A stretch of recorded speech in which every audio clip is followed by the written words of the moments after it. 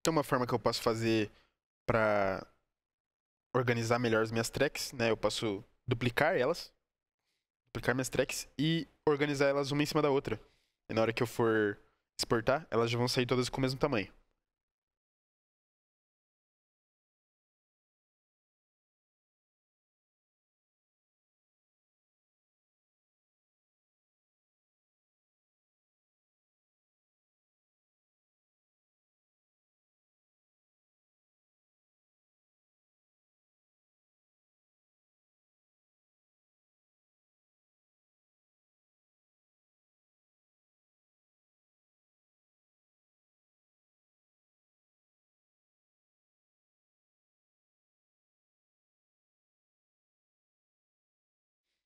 Depois eu posso selecionar todas as tracks que eu clonei e que são do mesmo instrumento. É, selecionar todas segurando Shift e clicando. E com o botão direito eu posso ir ali em Pack Folder. Daí eu organizo todas elas dentro de uma pasta. Dessa forma fica muito mais fácil de organizar seu projeto Studio One.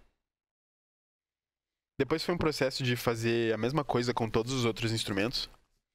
E no meio desse processo eu acabei criando novas variações de melodias também. Então, né, para estar tá tendo aí uma variação maior na hora da implementação.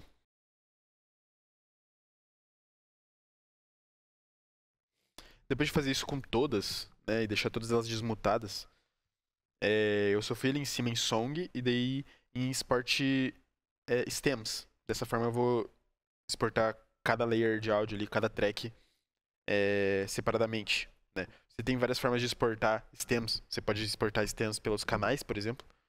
Mas nesse meu caso eu queria exportar pelas tracks porque foram elas que eu separei ali dentro da timeline.